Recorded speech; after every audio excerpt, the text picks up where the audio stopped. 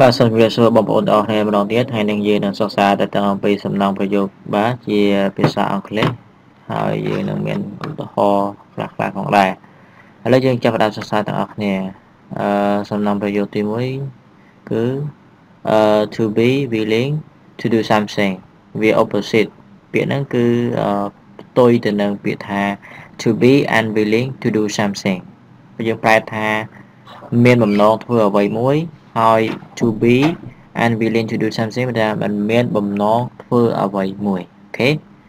មានបំណងធ្វើអ្វីមួយ និងមិនមានបំណងធ្វើអ្វីមួយហើយមើលឧទាហរណ៍ is she willing to help you តើនាងមានបំណងជួយអ្នកឬអូខេមួយទៀត I am unwilling to love her again ខ្ញុំមិនមានបំណងស្រឡាញ់នាងម្ដងទៀតទេអូខេ to be គឺនេះ am is are អញ្ចឹងយើងបំបែកមក to be គឺមាន am is are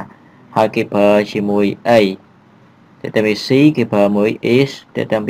i គេប្រើមួយ am អូខេ I am unwilling to love her again ខ្ញុំមិនមានបំណងស្រឡាញ់នាងម្ដងទៀតនោះទេចូលមកចំណុចទៀត to be relevant to ស្មើនឹងពាក្យថា to be related to ហើយនឹងស្មើនឹង be associated with ហើយបូកជាមួយនឹង doing something បាទ to be relevant to doing something ឬក៏ be related to doing something ឬក៏ associated with doing something យើងប្រែថាតាក់ទងទៅនឹងការធ្វើអ្វីមួយ បាទ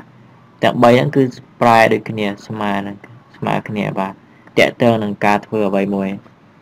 ឧទាហរណ៍ Are you relevant to rape her តើអ្នក តាក់ទងទៅនឹងអូខេអឺ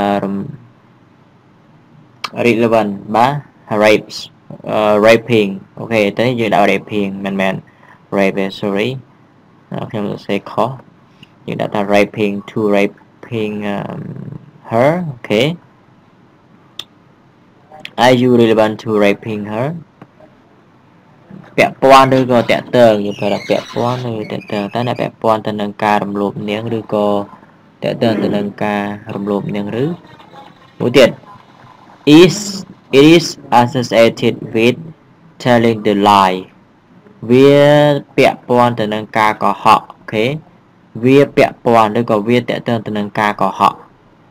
អញ្ចឹងឥឡូវនេះយើងដាក់ថា raping raping បាទលុបអក្សរ e ដាក់ i n g មួយចំណុចទៀត to be acceptable opposite ទៅនឹងពាក្យថា be unacceptable បាទ acceptable ផ្ទុយទៅនឹងពាក្យថា unacceptable ឧទាហរណ៍ it is unacceptable for what you have told me វាគឺមិនអាចទទួលយកបានទេចំពោះអ្វីដែលអ្នកបានប្រាប់ខ្ញុំហើយមួយទៀត to buy somebody something ទិញអ្វីមួយឲ្យនរណាម្នាក់ឧទាហរណ៍ I bought her a present ខ្ញុំទិញកាដូឲ្យអ្នកហើយមួយទៀត to be located in